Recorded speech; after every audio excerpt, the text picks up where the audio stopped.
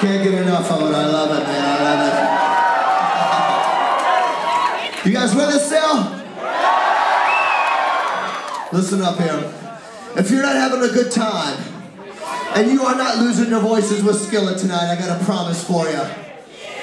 It's not me. It's definitely you.